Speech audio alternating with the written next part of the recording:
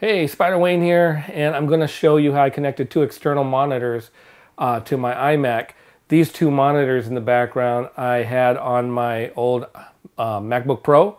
You might have saw that video. There were actually three of them that I connected to it uh, using a device called Matrox Triple Head to Go. And I gave that away. You could check that video out. I give things away all the time. So um, you should subscribe if you're not already and um, watch for my giveaways. But anyways, I connected these two monitors. I kept them. Uh, the third one I took to work. But these two I connected and there's no real magic, no real trick, no devices to buy except for a mini DVI, um, mini DVI uh, uh, uh, adapter that you just buy to connect them to your iMac through uh, the Thunderbolt ports that are built in. There's two of them. So once you connect them, they just work. But the important thing to know is that they max out at 1920 by 1080, which is what these two monitors also max out at. My iMac uh, maxes out at 2560 by 1440.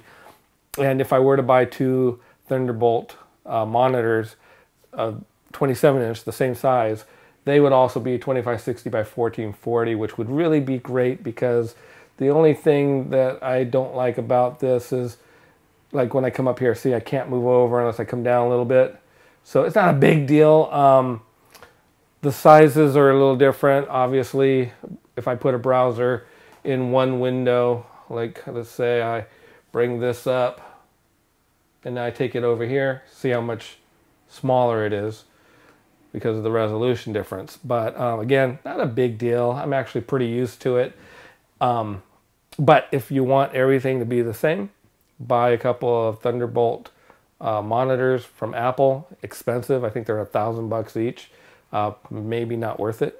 So this works fine for me, at least for now.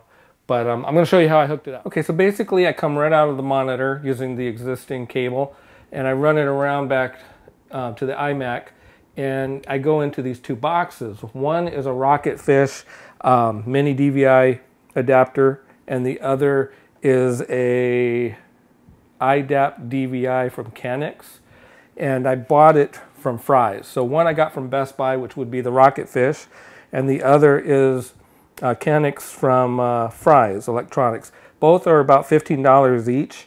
Uh, the Apple one, which we all know they price kind of high, is 30 bucks. So for half the price, or for the price of two, uh, or for the price of one Apple adapter, I got two. Um, other brands, Rocketfish and Kanex. So they both work, no problems, nothing wrong. All you do is plug these in and then plug them into the Thunderbolt ports on the back of your iMac and works perfect. No problems, nothing to set up, just works. And that's all there is to it. Change out the RAM, you want to set your iMac on something soft and uh, um, hardly used and a couple of still new in the bag job